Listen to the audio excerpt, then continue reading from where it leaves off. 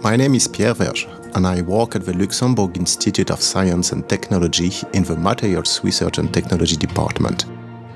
I hold the position of lead R&D associate and currently focus on developing a new generation of bio-based polymers and plastics with enhanced end-of-life options.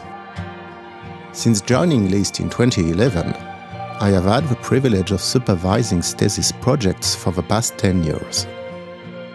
My journey began with Laura and has continued with other students such as Antoine and Arpan.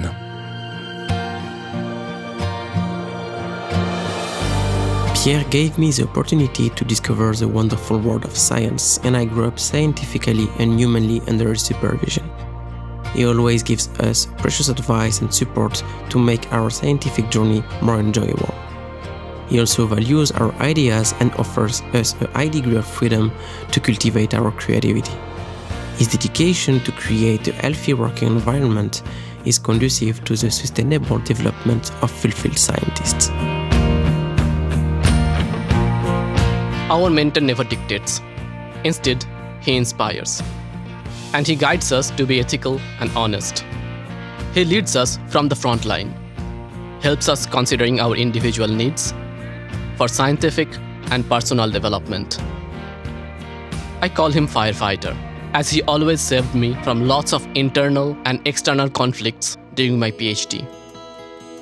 He is not only our mentor, he is our friend, philosopher, and guide. As a mentor, it is a top priority to be readily available to them. We spend a significant amount of time in discussing their subjects and addressing their difficulties, even actively joining them in the lab. Moreover, it is important to help them to think independently and trust in their own capabilities. Pierre is an excellent supervisor, guiding his students through their PhD but also a mentor, helping and pushing you towards new challenges. His motivation and passion for his work is easily transmitted by his enthusiasm. He is also a wonderful person with whom you can joke, laugh, and enjoy a drink or an activity after work. For all he is bringing to his mentees and for his commitment, we wanted to thank him by nominating him for the FNR Outstanding Mentor Award.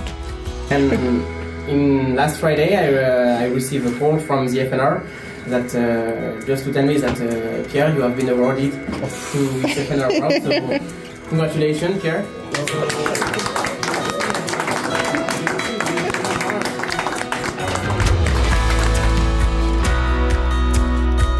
It is crucial for students to have a healthy work-life balance to maintain motivation.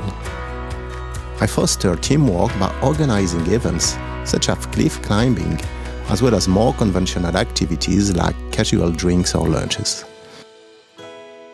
It was a real surprise when Antoine and the students announced that I was the recipient of his award.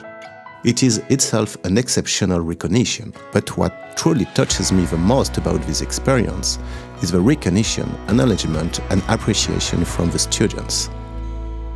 It is priceless.